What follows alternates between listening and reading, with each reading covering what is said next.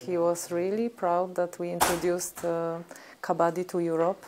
and uh, I think uh, he has a great wisdom regarding Kabaddi and the philosophy that stands